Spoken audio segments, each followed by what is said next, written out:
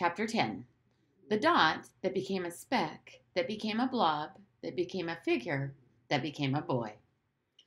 The walk along the fence took Bruno a lot longer than he expected. It seemed to stretch on and on for miles. He walked and walked, and when he looked back, the house that he was living in became smaller and smaller until it vanished from sight altogether. During this time, he never saw anyone anywhere close to the fence, nor did he find any doors to let him inside, and he started to despair that his exploration was going to be entirely unsuccessful. In fact, although the fence continued as far as the eye could see, the huts and buildings and smokestacks were disappearing in the distance behind him, and the fence seemed to be separating him from nothing but open space. After walking for the best part of an hour and starting to feel a little hungry, he thought that maybe that was enough exploration for one day and it would be a good idea to turn back. However, just at that moment, a small dot appeared in the distance and he narrowed his eyes to try to see what it was. Bruno remembered a book he had read in which a man was lost in the desert, and because he hadn't had any food or water for several days, had started to imagine that he saw wonderful restaurants and enormous fountains. But when he tried to eat or drink from them, they disappeared into nothingness, just handfuls of sand. He wondered whether that was what was happening to him now. But while he was thinking that his feet were taking him step by step closer and closer to the dot in the distance, which in the meantime had become a step, a speck, and then began to show every sign of turning into a blob. And shortly after that, the blob became a figure. And then, as Bruno got even closer, he saw that the thing was neither a dot, nor a speck, nor a blob, nor a figure, but a person. In fact, it was a boy. Bruno had read enough books about explorers to know that one could never be sure what one was going to find. Most of the time, they came across something interesting that was just sitting there, minding its own business, waiting to be discovered, such as America. Other times, they discovered something that was probably better, best left alone, like a dead mouse in the back of a cupboard. The boy belonged to the first category. He was just sitting there, minding his own business, waiting to be discovered. Bruno slowed down when he saw the dot that became a speck, that became a blob, that became a figure, that became a boy. Although there was a fence separating him, he knew that you could never be too careful with strangers, and it was always best to approach them with caution.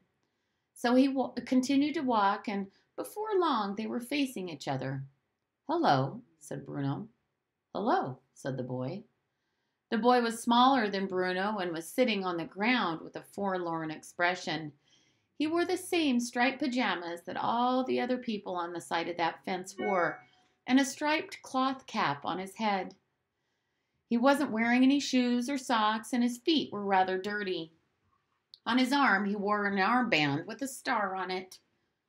When Bruno first approached the boy, he was sitting cross legged on the ground, staring at the dust beneath him. However, after a moment he looked up and Bruno saw his face. It was quite a strange face, too. His skin was almost the color of gray, but not quite like any gray that Bruno had ever seen before. He had very large eyes, and they were the color of caramel sweets. The whites were very white, and when the boy looked at him, all Bruno could see was an enormous pair of sad eyes staring back. Bruno was sure that he had never seen a skinnier or sadder boy in his life, but decided that he had better talk to him. I've been exploring, he said. Have you? said the little boy. Yes, for almost two hours now. This was not strictly speaking true. Bruno had been exploring for just over an hour, but he didn't think that exaggerating slightly would be too bad a thing to do. It wasn't quite the same thing as lying and made him seem more adventurous than he really was. Have you found anything? asked the boy. Very little. Nothing at all? Well, I found you, said Bruno after a moment.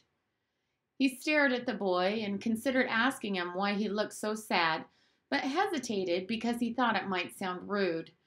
He knew that sometimes people who were sad didn't want to be asked about it, Sometimes they'd offer the information themselves, and sometimes they wouldn't stop talking about it for months on end. But on this occasion, Bruno thought that he should wait before saying anything. He had discovered something during his exploration, and now that he was finally talking to one of the people on the other side of the fence, it seemed like a good idea to make the most of the opportunity. He sat down on the ground on his side of the fence and crossed his legs like the little boy and wished that he had brought some chocolate with him or perhaps a pastry that they could share. I live in the house on this side of the fence, said Bruno. Do you? I saw the house once from a distance, but I didn't see you. My room is on the first floor, said Bruno. I can see right over the fence from here. I'm Bruno, by the way. I'm Shmuel, said the little boy. Bruno scrunched up his face, not sure that he had heard the little boy right. What did you say your name was? he asked. Shmuel, said the little boy, as if it was the most natural thing in the world. What did you say your name was? Bruno, said Bruno. I've never heard of that name, said Shmuel. And I've never heard of your name, said Bruno. Shmuel. He thought about it. Shmuel, he repeated. I like the way it sounds when I say it. Shmuel. It sounds like the wind blowing. Bruno, said Shmuel, nodding his head happily. Yes, I think I like your name too. It sounds like someone who's rubbing their arms to keep warm. I've never met anyone called Shmuel before, said Bruno. Well, there are dozens of Shmuels on this side of the fence, said the little boy. Hundreds, probably. I wish I had a name all of my own. I've never met anyone called Bruno, said Bruno, other than me, of course. I think I might be the only one. Well, then you're lucky, said Shmuel. I suppose I am. How old are you? he asked. Shmuel thought about it and looked down at his fingers, and they wiggled in the air as if he was trying to calculate. I'm nine, he said. My birthday is April the 15th, 1934. Bruno stared at him in surprise. What did you say? he asked. I said my birthday is April the 15th, 1934. Bruno's eyes opened wide and his mouth made the shape of an O. I don't believe it, he said. Why not? asked Shmuel. No, said Bruno, shaking his head quickly. I don't mean I don't believe you. I mean I'm surprised, that's all. Because my birthday is April the 15th, too. And I was born in 1934. We were born on the same day. Shmuel thought about this. So you're nine, too, he said. Yes, isn't that strange? Very strange, said Shmuel, because there are dozens of Shmuels on this side of the fence, but I don't think I've ever met anyone with the same birthday as me before. We're like twins, said Bruno. A little bit, agreed Shmuel. Bruno felt very happy all of a sudden. A picture came into his head of Karl and Daniel and Martin, his three best friends for life. And he remembered how much fun they used to have together back in Berlin and realized how, how lonely he had been at Out-With. Do you have many friends? asked Bruno, cocking his head a little to the side as he waited for the answer. Oh, yes, said Shmuel. Well, sort of. Bruno frowned. He had hoped that Shmuel might have said no, as it would give them something else in common. Close friends? he asked. Well, not very close, said Shmuel, but there are a lot of us boys our age, I mean, on this side of the fence. We fought, uh, fight a lot of the time, though. That's why I come out here to be on my own. It's so unfair, said Bruno. I don't see why I have to be stuck over here on this side of the fence when there's no one to talk to and no one to play with, and you get to have dozens of friends and are probably playing for hours every day. I'll have to speak to father about it. Where did you come from? asked Shmuel, narrowing his eyes and looking at Bruno curiously. Berlin. Where's that? Bruno opened his mouth to answer, but found that he wasn't entirely sure. It's in Germany, of course. Don't you come from Germany? No, I'm from Poland, said Shmuel. Bruno frowned. Then why do you speak German? he asked. Because you said hello in German, so I answered in German. Can you speak Polish? No, said Bruno, laughing nervously. I don't know anyone who can speak two languages, and especially no one at our age. Mama is a teacher in my school, and she taught me German, explained Shmuel. She speaks French too, and Italian, and English. She's very clever. I don't speak French or Italian yet, but she said she'd teach me English one day because I might need to know it. Poland, said Bruno thoughtfully, weighing up the word on his tongue. That's not as good as Germany, is it? Shmuel frowned. Why isn't it? he asked. Well, because Germany is the greatest of all countries, Bruno replied, remembering something that he had overheard father discussing with grandfather on any number of occasions. We're superior. Shmuel stared at him but didn't say anything, and Bruno felt a strong desire to change the subject because even as he had said the words, they didn't sound quite right to him, and the last thing he wanted was for, for Shmuel to think that he was being unkind. Where is Poland anyway? he asked after a few silent moments had passed. Well, it's in Europe, said Shmuel. Bruno tried to remember the countries he had been taught about in his most recent geography class with Herr Liszt. Have you ever heard of Denmark? he asked. No, said Shmuel. I think Poland is in Denmark, said Bruno, growing more confused even though he was trying to sound clever. Because that's many miles away, he repeated for added confirmation.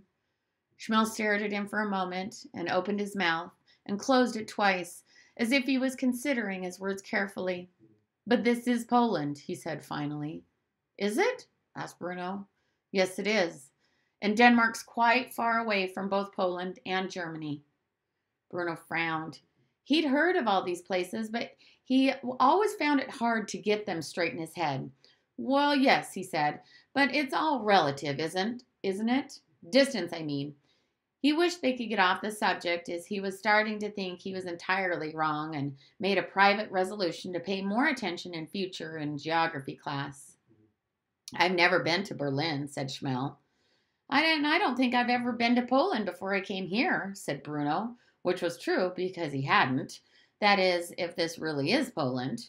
I'm sure it is, said Shmuel quietly, although it's not a very nice part of it. No, where I come from is a lot nicer. It's certainly not nice as Berlin, said Bruno. In Berlin, we had a big house with five floors if you counted the basement and the little room at the top of the window. There were lovely streets and shops and fruit and vegetable stalls and any number of cafes. If you ever go there, I wouldn't recommend walking around town on a Saturday afternoon because there are far too many people there and you get pushed from pillar to post. And it was much nicer before things changed. How do you mean? asked Shmuel. Well, it used to be very quiet there, explained Bruno, who didn't like to talk about how things had changed. And I was able to read in bed at night, and now it's quite noisy sometimes and scary, and we have to turn all the lights off when it starts to get dark. Where I come from is much nicer than Berlin, said Shmuel, who had never been to Berlin. Everyone there is very friendly, and we have lots of people in our family, and the food is a lot better too. Well, we'll have to agree to disagree, said Bruno, who didn't want to fight with his new friend.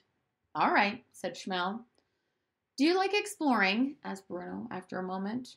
I've never really done any, admitted Shmuel. I'm going to be an explorer when I grow up, said Bruno, nodding his head quickly. At the moment, I can't do very much more than read about explorers, but at least that means that when I'm one myself, I won't make the mistakes they did. Shmuel frowned. What kind of mistakes? he asked. Oh, countless ones, explained Bruno. The thing about exploring is that you have to know whether the thing you found is worth finding. Some things are just sitting there, minding their own business, waiting to be discovered like America. And other things are probably better off left alone, like a dead mouse at the back of the cupboard. I think I belong to the first category, said Shmuel. Yes, replied Bruno, I think you do. Can I ask you something? he added after a moment. Yes, said Shmuel. Bruno thought about it. He wanted to phrase the question just right. Why are there so many people on that side of the fence? he asks. And what are you all doing there?